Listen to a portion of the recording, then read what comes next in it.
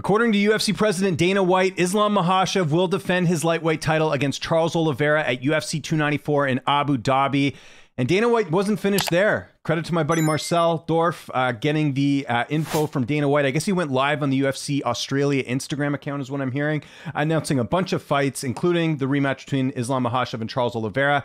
We've also got Paulo Costa and Khamzat Chimaev. Uh, there was a report out a few days ago. Looks like that was right. So they have removed Paulo Costa from the fight at UFC 291 next Saturday. He will be taking on Chimaev in Abu Dhabi. We've got Nassourdine Imavov taking on Ikram. So they've split up the Paulo Costa and Ikram fight. They both have new opponents here we got so much to get into. First and foremost, um, like I mentioned, UFC 294 stat card. I mean, these fights are huge, uh, all, all, the fights that are put together. Let's start first with Islam and Charles. So, we had heard, and I mean, you heard this at the expo when Charles Oliveira was at International Fight Week.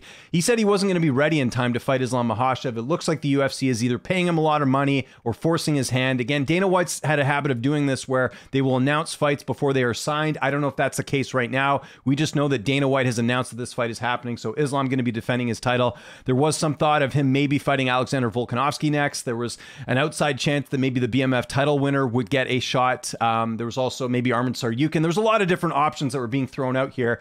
Um, this is, you know, one of the best fights they could do aside from him and Volkanovski, I think. I, did a video on this before. I, think this is tough for Charles to fight once again in Abu Dhabi against Islam Makhachev, but hey, you got to take your opportunities when you get them. Uh, we'll, see how, you know, I'm curious to hear what the behind the scenes was of putting this fight together here. But Islam once again getting a fight in Abu Dhabi, huge card headlining it. I mean, this is a mega fight here with Islam and Charles Oliveira. Uh, you can see there Islam since the first Charles fight having a very close fight with Volkanovski. The first Charles fight, I mean, let's call it like it is. Islam dominated the fight in every facet of it. Charles uh, getting submitted in the second round. Um, since then, obviously Charles Oliveira coming off an impressive win himself, taking out Beneil Dariush in the very first round of that fight. So uh, Oliveira did more than enough. A lot of people counting out Oliveira in that fight. If you remember, people saying, "Oh, he's done all this stuff." Well, it didn't happen. He actually looked really good in that fight. So as far as like merit goes, I think this fight makes a lot of sense. This also does not tie up the featherweight division. I would think now with this fight being booked. I know Volkanovski recently had surgery, but you have to imagine with this fight getting booked with Oliveira and Islam, the rematch happening, that they're probably going to go with Volkanovski and uh, Ilia Topuria. I don't imagine Volk's going to. Maybe Volk waits around, but I think this leads more to now the Topuria and Volkanovski fight happening. Um, as far as an early pick, I've said this before.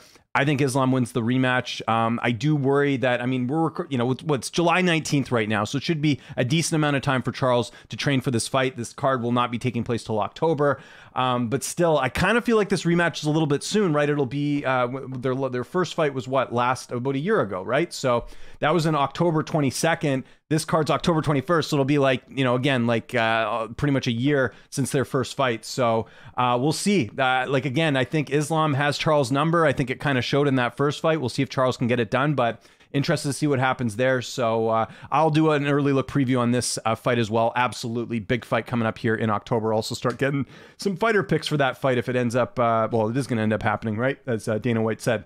Okay, so that's the first fight. Let's talk about the second fight they announced: Paulo Costa and Khamzat Chimaev. I said this on my live stream. I'm going to say it again. A lot of you owe Paulo Costa an apology because everyone ran with, oh, Ikram and Paulo Costa's off Paulo Costas must have some contract issues, all these different things. That's not what happened. They moved him. It had nothing to do with him. And look, I'm not a big Paulo Costa fan. You guys know this. If you watch my breakdown in him and Ikram, I actually pick Ikram to beat him in that fight. But I think the fact that people were rushing to judgment about all these rumors about what was happening with, um, you know, Paulo Costa and Ikram and all that. Remember, Ikram and Roman Dolidze was supposed to happen. That turns out to be BS. Obviously, now we, we see the fights getting matched up. So um, I, I think, again, the UFC is doing too many events. And this is why they're having to pull fighters from certain cards to make matchups that make sense here. So I actually like this fight a lot between Costa and Hamzat Chimaev. I think it's actually the perfect fight for Hamzat Chimaev to move back up to middleweight. You've got Paulo Costa, who is a ranked opponent. That's one thing that Chimaev is missing. Uh, on his resume is fighting a ranked middleweight. Paulo Costa, let's be honest, and I've said this before in the breakdown with Ikram, I haven't been that impressed with him. Um, if you actually look at his wins right now, uh, he doesn't have a single win over someone that's currently still in the UFC uh, as far as his UFC win goes. All of these guys are not in the UFC anymore.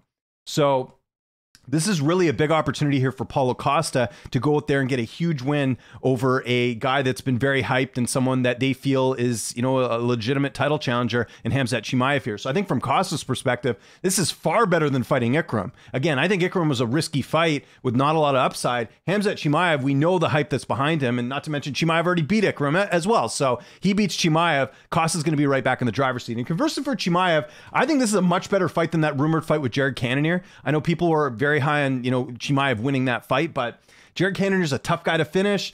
We saw what he did to Marvin Vettori in his last fight. I think this is a much better matchup for Chimaev because, look, I'm of the belief that I think Chimaev is extremely talented. I think we've seen him compete at a high level and beat some really good opponents.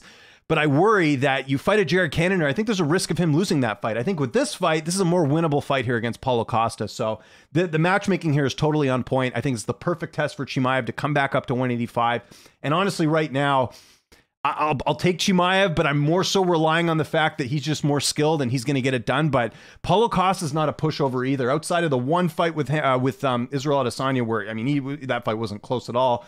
He had the fight with Vettori. I know he lost, but it's not like he got finished in that fight, you know. And then the Rockhold fight, I mean, that really told us nothing. But uh, yeah, I think there's uh, if we can get the Paulo Costa that fought Yoel Romero, Uriah Hall, the fight with Chimaev is going to be very interesting here. Quick tale of the tape here. I didn't do this on the Islam fight, but you guys know their height and reach already. Six foot two with a 75 inch reach. Paulo Costa is six foot one with a 72 inch reach. So you'll see there, uh, Chimaev actually going to be a little bit bigger in this fight, but we know Costa's had uh, not had issues making weight, but remember that whole situation with Marvin Vettori where it's like, yeah, we're going to do this fight at light heavyweight in the middle of fight week or whatever. So um, yeah, uh, interesting fight here. Love the matchmaking on this one. And then finally, I think this fight makes sense too. You got Ikram, 14 and 1. Uh, again, got a golden ticket against uh, Paulo Costa.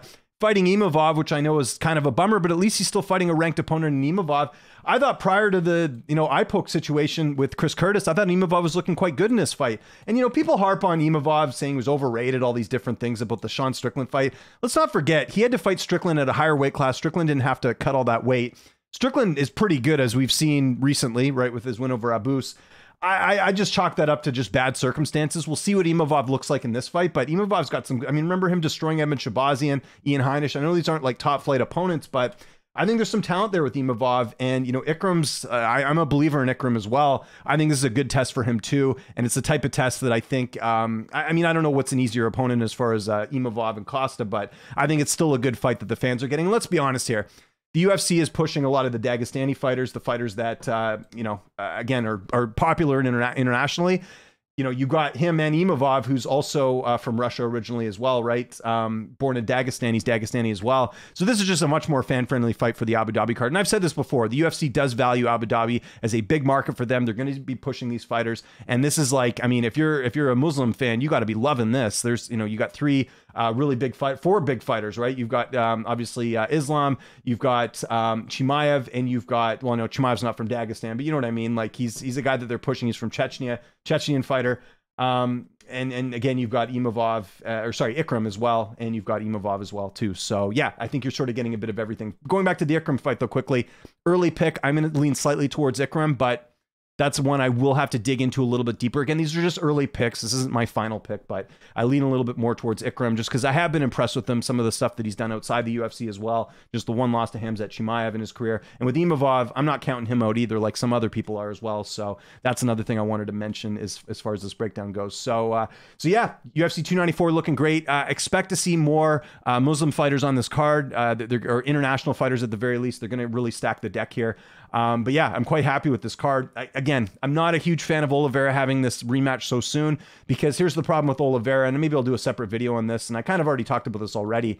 Um, if he loses again, he's screwed. Like, what, what's he going to do? He's not going to go back down to featherweight.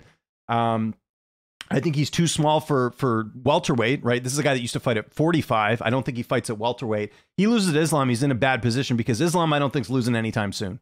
So kind of a risky fight for Oliveira, but again, if the boss is telling you you got to fight in Abu Dhabi, you got to fight in Abu Dhabi. So we'll see what happens in that fight. And uh, again, Islam will get a, uh, you know, again, it's good to see Islam fight in lightweight as opposed to, uh, you know, Volk, who again would be tying up his featherweight division by doing that in interim titles and all that stuff as well. So again, uh, the, these fights, I will do early look breakdowns on every single one of them. I'll give more sort of in depth on that. But just my initial thoughts are, I mean, look, I like all these fights, especially the Costa and Chimaev fight. I think that's a much better fight than the Ikram fight because again, for Costa, Costa, I see some upside for him here. Whereas with Ikram, you know, again, Ikram's only got one UFC fight. Does that really help his case as far as being a contender? I think he beat Chimaev. Costa's right back in that title picture, in my opinion, if he beats uh, Chimaev just because of the hype that Chimaev has and everything else. So there we go. Dana White laying down the gauntlet tonight uh, with all these fight announcements. So I want to know what you guys think in the comment section below. Um, who do you favor in these fights? First off, I want to get your picks for Makhachev, Oliveira, uh, Costa Chimaev, Imavov Askarov, uh, Ikram, I should say. Um, and then let me know what you think of the matchmaking. Like I said, I don't have an issue with any one of these fights here. And again, I think with Islam, to me, it was either Volk or Oliveira. BMF title, I think, would have been too soon. Arman, I think Arman deserves it personally, but Arman's kind of young. Maybe you want to build him up a little bit more. We'll, we'll see what they decide to do there. But uh, there we go. Follow me on Twitter, Instagram, TikTok, at Lynch on Sports. I'm James Lynch. Thanks so much for watching, and I'll see you next time.